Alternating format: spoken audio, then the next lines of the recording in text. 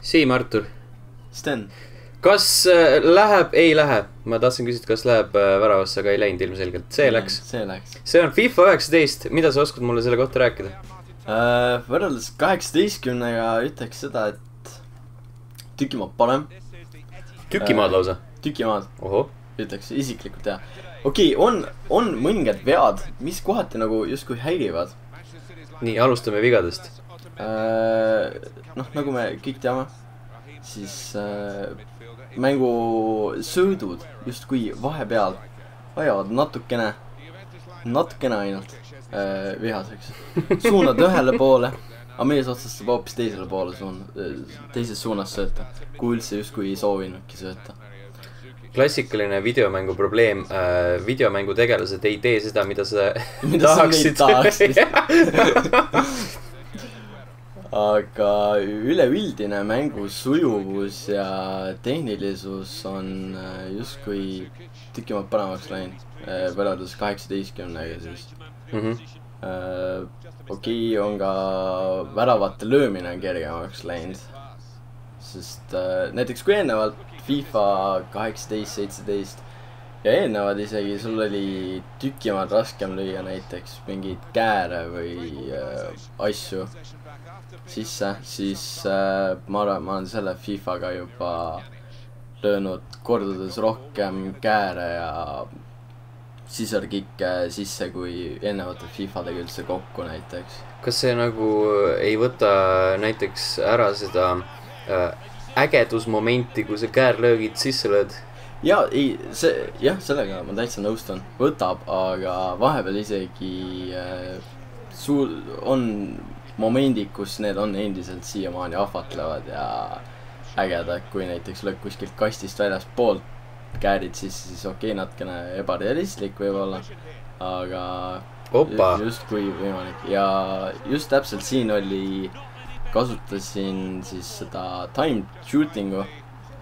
Ehk siis äh, ennem nii-öelda paned paika löögi tugevuse ja kui äh, su karakter hakkab t- nagu kontakti tegema palliga lõpuks, siis vajutad äh, uuesti lööginuppu ja siis on nii-öelda time shooting, mis äh, annab sulle suurema tõenäosuse saada värava.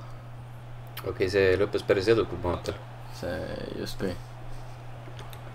aga see mitte nii väga. mitte nii väga, see oli tavaline löök, see oli tavaline pealöök. see ei olnud üldse nii hea nagu. see, see oli siuke tavaline. suvaline vend. Gun oi,. oi-oi-oi, oi-oi-oi, nii ilmselgelt. nii ilmselgelt ja jah, noh, need äh, suluseisud ja need on ka natukene paremaks tehtud õnneks. et ei äh,, päris kogu aeg nii debiilseid suluseise ei tule enam. ja kui nüüd minna väga sügavustesse, siis äh, taktikaline ülesehitus mängus on ka läinud äh, tüki maad põhjalikumaks. Mhm.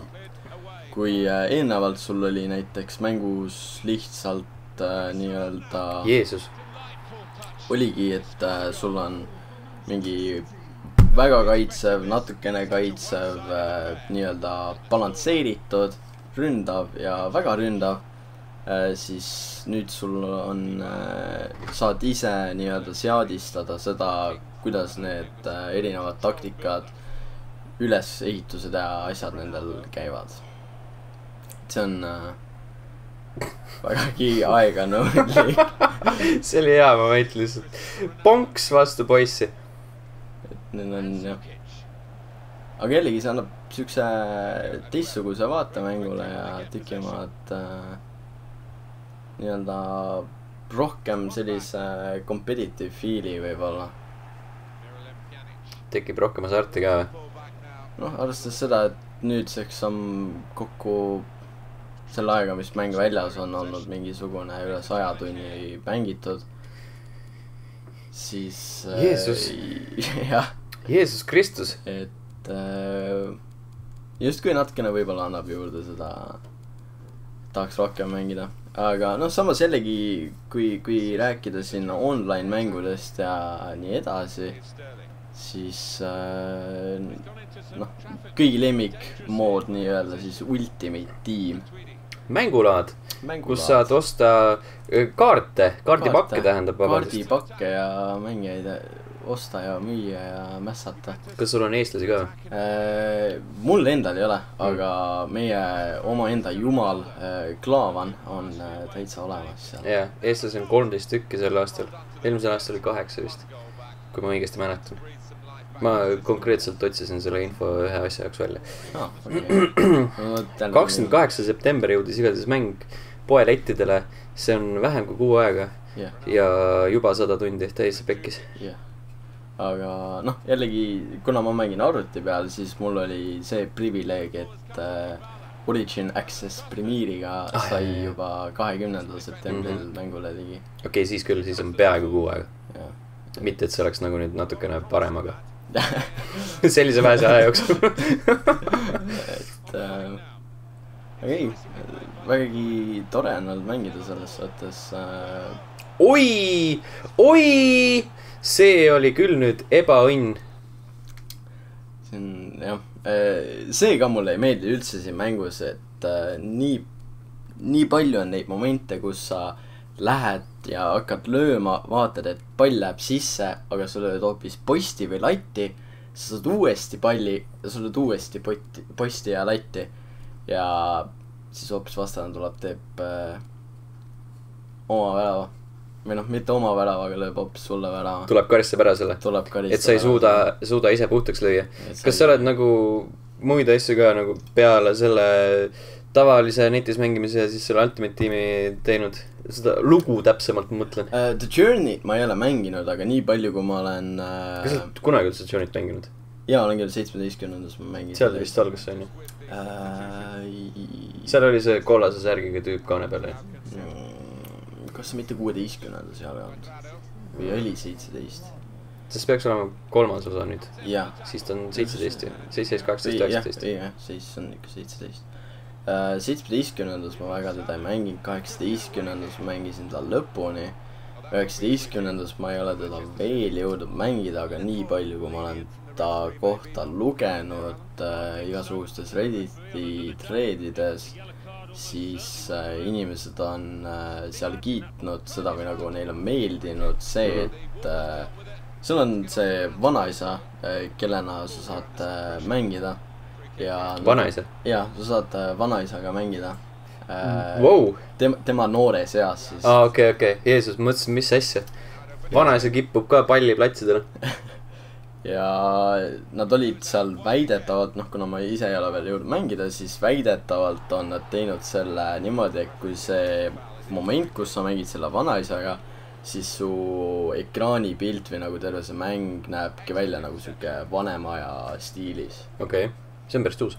see kõlab päris tuus see vähemalt. jah, see kõlab nagu päris tuusalt ja tundub, et inimestele on meeldinud selles suhtes äh,. olen ka proovinud äh, nagu iga aasta manager mode'i, mis on üldiselt minu põhiline mängulaad olnud. mitte Ultimate Team, aga see aasta olen rohkem mänginud, kõvasti rohkem mänginud Ultimate Team'i kui manager mode'i mis seal nagu, mis see manager'i mode'i põhimõte on?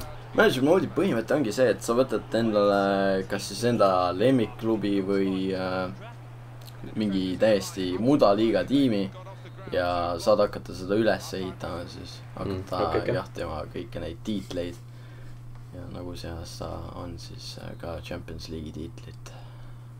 Nice, nice, nice. mulle meeldis, et siin ühe tüübi nimi on Cancelo. ei, Cancelo. see on äh, Juventuse parem äh, kaitse, kaitsja liiga mm. -hmm. et ja Pjanik. Not Pjanik. We got this. opa.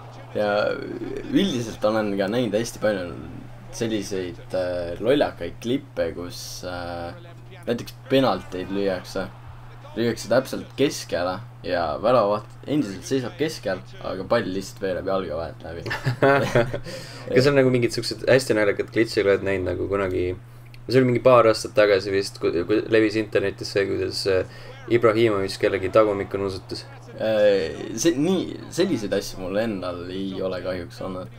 kuigi eks kunagi, kui tekib, siis kindlasti peab äh, ära rekordima selle. Mm -hmm.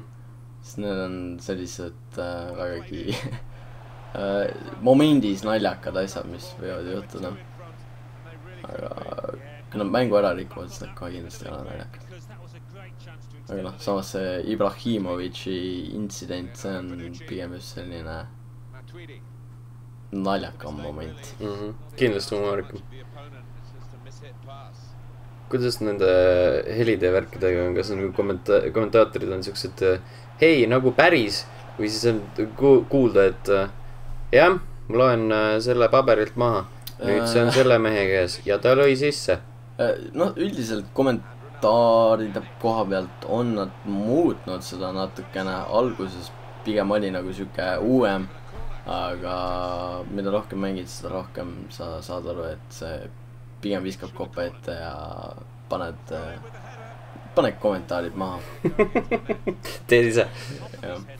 aga see staadiumi äh, tunnetus nagu nii-öelda siis äh, publik ja see seda nad on muutnud äh,, näiteks osadel mängijatega ja, või isegi tiimidega. ma ei ole sii-, siiamaani õigesti täpselt aru saanud äh,, lauldakse näiteks mingit äh, tiimi enda laulu või äh, oi, oi, oi. või, või midagi taolist. ja seda ma tean kindlalt, et äh, näiteks Ultimate tiimis, kui sa mängid äh, mingisuguste suurema nimeliste mängijatega, siis on äh, nende plakatid on äh, rahva seas Mhm. suurelt ja või noh, kui eemalt näidatakse seda, siis need on vähemalt nähtaval. huvitav, kas Cristiano Ronaldo plakatid on jätkuvalt suurelt nähtaval? jaa, on endiselt suurelt nähtavalt, nähtaval selge, selge, selge, siis nad tõesti monitoorivad situatsiooni, jumalauda.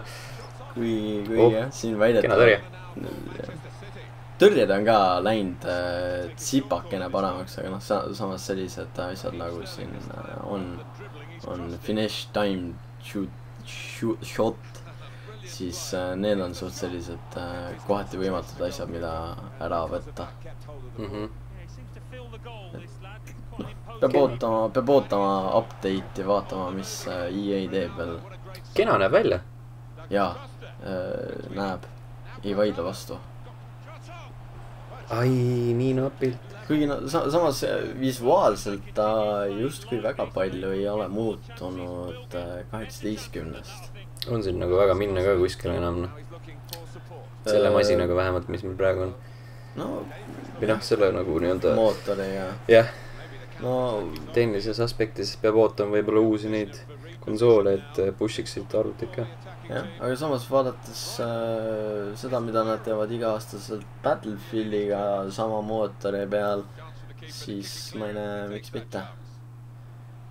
miks ei oleks võimalik, kuigi Mm. noh, jällegi samas Battlefield ühe ja Battlefield viie visuaalne vahe ei olnud justkui nii suur.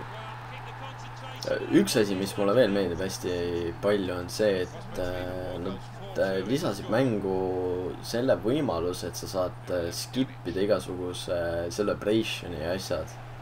kuigi inimesed endiselt miskipärast kasutavad celebration'e. viivitavad mängu. no aga sa tahad ikkagi sa äh, tahad tääbida oma sa tahad. natukene, natukene nautida seda momenti, kui sa saad lõpuks ometi värava. Ja värgi noh. jaa, aga samas, samas kui sa lööd värava ja sa skip'id, sa hoiad enda momentumit üleval ja vastane just jääb mõtlema, et okei okay,, see mees pigem, pigem võib osata mängida ju. no aga võib-olla mõned äh, kasutavadki seda taktikalistel eesmärkidel.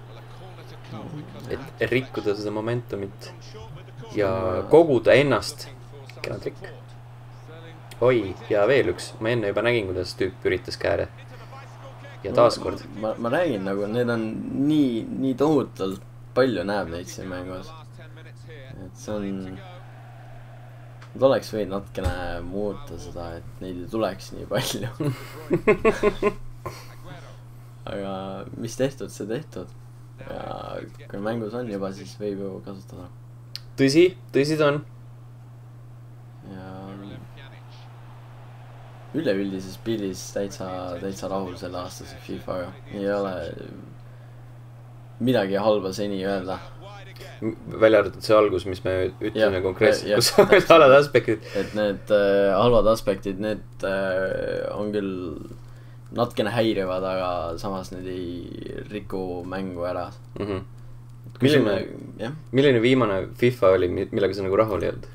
viimane FIFA, millega ma rahul ei olnud. jaa, mulle endal isiklikult viisteist väga ei istunud. okei okay.. miks? ma ausalt öeldes isegi ei mäleta enam. aga sa mäletad seda tunnet, et kurat, viisteist nagu, iga kord, kui keegi mainib, ajab veale. mitte otseselt vihale, aga ta ei olnud just minu enda isiklik äh, FIFA, mida ma oleks väga palju mänginud milline kõige parem on olnud seni? äh,. kas sa tahad ausat vastust või mitte ausat vastust äh.? mõlemat. Ma tahaks öelda, et seitseteist, aga tegelikkuses ma ütlekski, et selle aasta FIFA on seni kõige parem okei okay., miks sa nagu, ja ohoh, ja hurraa, veel üks. miks just seitseteist? Äh, ta oli selline mõnus, ta ei olnud äh, liiga kiire, ta ei olnud liiga aeglase mängustiiliga. ja noh, okei okay,, tal olid ka igasugused omad vead, abuse iti mängijate kiirust, mis on jällegi siin Fifas äh, vägagi, vägagi ära balansseeritud. et ei ole näiteks äh, sul oleta, võtame mingit aeglase kaitse ja mingi ülimalt kiire ründaja, nagu on näiteks Aubameyang ja mingi Mertesacker, Mhm. siis ei ole seda, et äh, Aubameyang näiteks lihtsalt jooksekski mööda tast. Aga on võimalus, et äh, Mertesacker näiteks peaks, peab äh, Aubameyangi kinni. et see on äh, selline mõnus, ei ole seda tohutut kiiruse äh, nii-öelda abuse imist. selged pildid siin tuli, ma vaatan, et sa võitsid viis-kaks. palju õnne. ma tänan.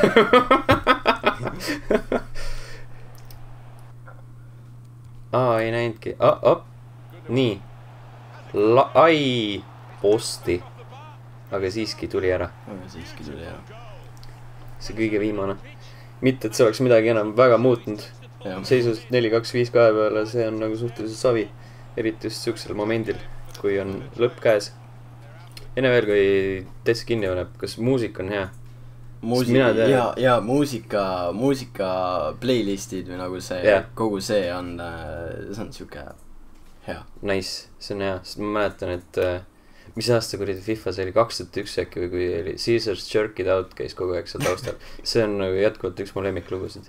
ja seda tänu Fifale, seda tänu FIFA seeriale. ma miskipärast mäletan väga palju, null seitsmes oli, ma ei mäleta, mis selle loo nime, nimi oli, aga sõnad oli Tule maali, maali. Nice, selge, aga aitäh. palun, loodame, et äh, FIFA jätkuvalt äh, hoiab kõiki tegevuses ja kohtume juba järgmises videos. tšau. tšau.